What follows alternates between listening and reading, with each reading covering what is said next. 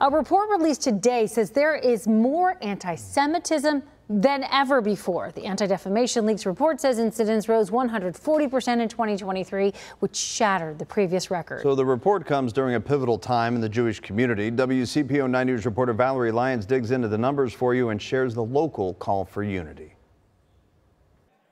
In this moment, there's nothing we need, need more than coming together. And that's what the Seder meal is all about. Dozens of interfaith community members took part Tuesday for the symbolic Passover tradition to aspire for something better, peace, harmony. In a time when Jewish hate and division is at its worst. I wish I could say we're more surprised to see the numbers go up the way that they had. The highest in recorded history. The Anti Defamation League's latest report lays it out. Anti Semitism more than doubled nationwide from 2022.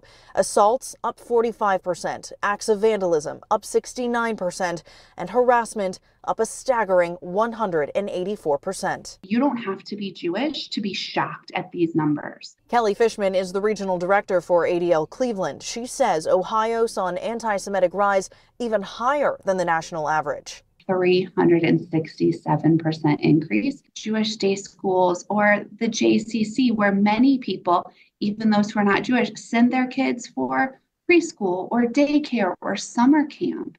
This impacts everyone. Nationwide, statewide. We went from having about an incident once a week. And even here at home. Director of the Jewish Community Relations Council, Rabbi Ari Jun tracks local anti Semitic incidents. He says Cincinnati's seen an alarming spike too. In the weeks immediately after October 7th, we were actually closer to one a day in the Cincinnati area.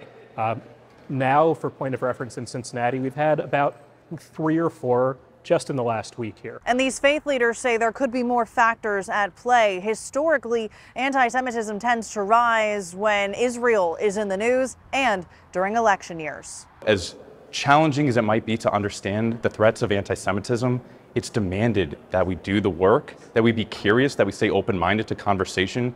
And that means keeping seats at the table, sharing in the hope that maybe next year. You and I, if we have this conversation, I can say, you know what, there's not so much to report. Things are looking so much better. And that's my hope for 2024. In Amberley Village, Valerie Lyons, WCPO 9 News.